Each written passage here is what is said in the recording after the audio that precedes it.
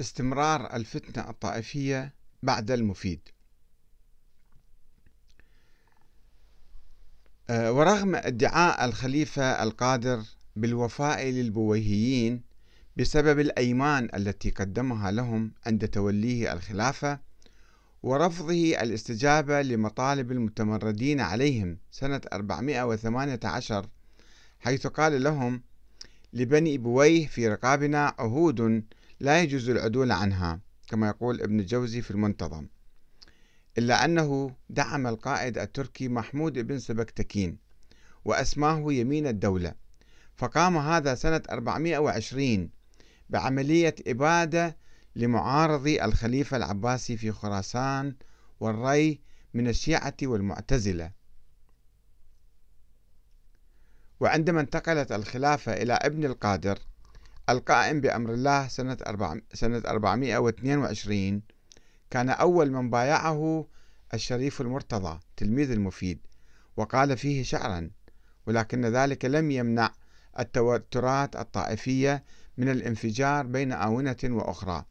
وقد كان موضوع سب الشيعة للصحابة مادة رئيسية في التوتر مما دفع الخليفة القائم سنة 433 إلى تجديد إعلان الاعتقاد القادري الذي كتبه أبوه. وقراءته في الديوان أمام الزهاد والعلماء والفقهاء وأخذ خطوط هؤلاء توقيعهم يعني على أن هذا اعتقاد المسلمين ومن خالفه فقد فسق وكفر. وجاء في ذلك الاعتقاد أو البيان يعني هذا أن من سب سيدتنا عائشة رضي الله عنها فلا حظ له في الإسلام. ولا يقول في معاوية رضي الله عنه إلا خيرا ولا يدخل في شيء شجر بينهم ويترحم على جماعتهم. عام استثنائي فريد من الوحدة بين السنة والشيعة. وقد كان الاستثناء الوحيد والغريب هو ما حدث عام 442 من اتحاد السنة والشيعة في مواجهة السلطة العباسية. كما يحدثنا ابن الجوزي وذلك عندما ندب أبو محمد النسوي للعبور وضبط البلد.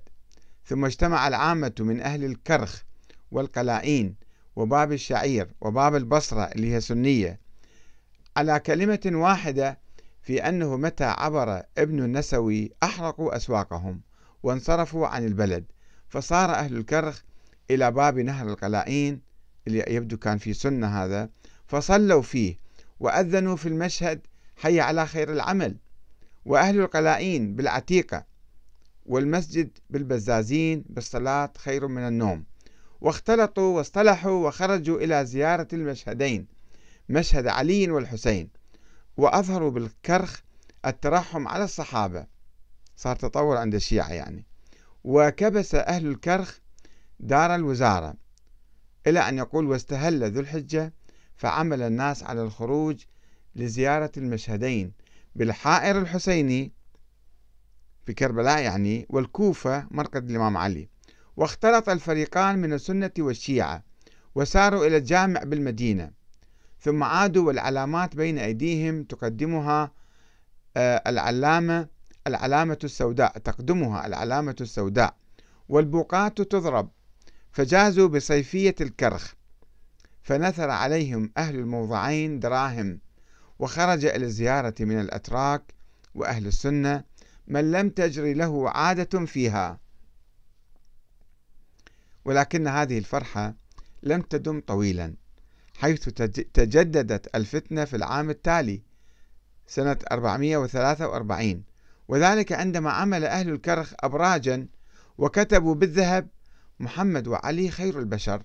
فمن رضي فقد شكر ومن أبى فقد كفر. فأنكر أهل السنة هذه الزيادة وثارت الفتنة وآلت إلى أخذ ثياب الناس في الطرقات. فمحى أهل الكرخ ما كتبوه من خير البشر وطالب السنة بإسقاط حي على خير العمل. وقويت الحرب وكثر القتل وانقطعت الجمعة في مسجد براثا. واستنفر البلد ونقب في مشهد باب التبن وأخرج أو أخرج جماعة من القبور فأحرقوا واحترق الضريحان والقبتان في مرقد الإمامين الكاظم والجواد. وأظهر أهل الكرخ الحزن وقعدوا في الأسواق للعزاء وعلقوا المسوح على الدكاكين.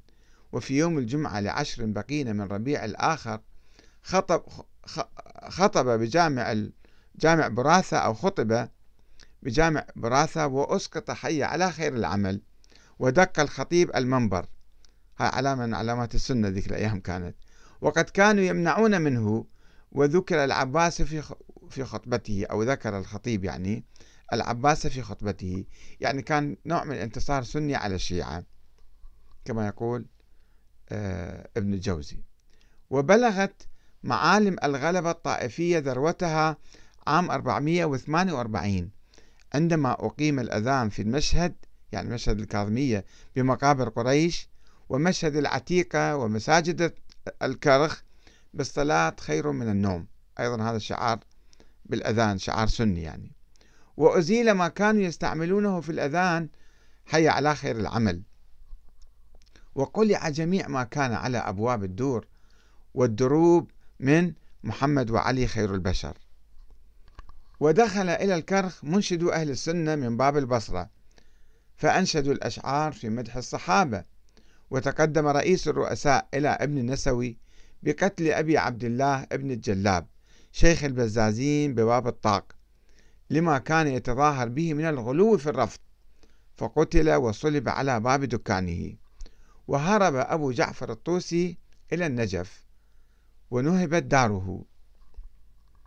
وفي سنة 449 في صفر كبست دار أبي جعفر الطوسي متكلم الشيعة بالكرخ وأخذ ما وجد, وجد من دفاتره وكرسي كان يجلس عليه الكلام وأخرج ذلك إلى الكرخ فأحرق. وكان ذلك علامة كبيرة على اختلال الميزان السياسي لصالح الخليفة العباسي وأهل السنة في مقابل الشيعة والحكام البويهيين الذين أفل نجمهم في أواسط القرن الخامس الهجري. ولكن الميزان السياسي والعسكري لم يبق كذلك فسرعان ما انقلب رأسا على عقب. عندما تمرد أحد قواد الأتراك من فلول البويهيين وهو أرسلان المعروف بالبساسيري الذي عظم أمره كما يقولون واستفحل فاستولى على البلاد وطار اسمه وتهيبته أمراء العرب والعجم ودعي له على كثير من المنابر العراقية والأهواز ونواحيها وجبل الأموال ولم يكن القائم بأمر الله يقطع أمرا دونه. ورغم استعانة الخليفة القائم بأمير الغز السلاجقة طغر البك عام 447 لإنقاذه من البساسيري إلا أن هذا الأخير استعان بالدولة الفاطمية وكاتب صاحب مصر يذكر له كونه في طاعته وأنه على إقامة الدعوة له في العراق. فأمده بالأموال وولاه الرحبة. فخطب للمصري يعني الخليفة المصري في في واسط أو خطب للمصري للخليفة الفاطمي يعني في واسط وشفاثة وعين التمر والكوفة والنيل وسورة. ثم دخل البساسيري بغداد يوم الأحد ثامن ذي القعدة سنة 450 ومعه الرايات المصرية الفاطمية يعني. وكان على رأسه أعلام عليها مكتوب الإمام المستنصر بالله أبو تميم معد أمير المؤمنين. وضرب دنانير سماها المستنصرية. وكان عليها من فرد جانب لا إله إلا الله وحده لا شريك له محمد رسول الله علي ولي الله. ومن الجانب الآخر عبد الله ووليه الإمام أبو تميم معد المستنصر بالله أمير المؤمنين واعتقل البساسيري الخليفة العباسي القائم بالله حولا كاملا وعاود الشيعة من أهل الكرخ الأذان بحي على خير العمل وظهر فيهم السرور الكثير وعملوا راية بيضاء ونصبوها وسط الكرخ وكتبوا عليها اسم المستنصر بالله ودعي لصاحب مصر في جامع المنصور وجامع الرصافة وزيد في الأذان حي على خير العمل. ولم يلبث سلطان السلاجقة طغر البك طغر البيك أن عاد إلى بغداد وقتل البساسيري في الخامس عشر من ذي الحجة سنة 451 فثار الهاشميون هاشميون يعني العباسيون يعني السنة وأهل باب البصرة إلى الكرخ فنهبوها. وطرحوا النار في أسواقها ودروبها واحترقت دار الكتب التي وقفها سابور ابن أردشير في سنة 383 وكان فيها كتب كثيرة ونهبت الكوفة نيفا وثلاثين يوما. حتى الكوفة أيضا لم تسلم من الحرق. هكذا استمرت الفتنة بفعل التطرف يعني الفتنة كانت لها عوامل عديدة. سياسية صراع بين البويهيين والعباسيين والفاطميين آه، وفي نفس الوقت بين آه، الجنود الأتراك وداخل البويهيين وأيضا يعني كان مفروض في أي عالم واعي و يعني ملتفت لمشاكل عصره أن يتجنب التوتر والتطرف والعنف في الكلام. ولكن مع الأسف الشديد الشيخ المفيد آه، آه، يعني هو صب الزيت على النار وكان بكتاباته وخطاباته وتنظيره يؤيد فكرة قديمة ميتة. يعني قبل 300 سنة ماذا حدث في التاريخ من خلاف أو مثلا من أحداث بين الخلفاء السابقين؟ فهو كان آه، بدل ما يتجاوز ذلك التاريخ كان آه، يكرس ذلك التاريخ و آه، يستخدم العنف مع الآخرين وبالتالي كان هو سبب أو عامل من عوامل الفتنة الطائفية في نظري. والله أعلم. والسلام عليكم ورحمة الله وبركاته. وإلى الباب الخامس الفصل الأول المفيد والفقه الجعفري. إن شاء الله.